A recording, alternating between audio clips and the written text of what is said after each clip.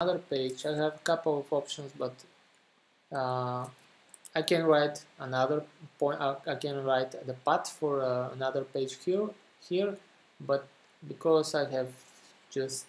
only one PHP uh, script I can show you actually if I use the get form and I can uh, redirect the user to even different page for example let's try with google.com okay and when I save refresh test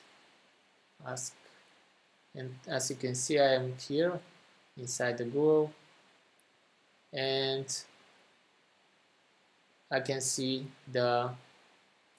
parameters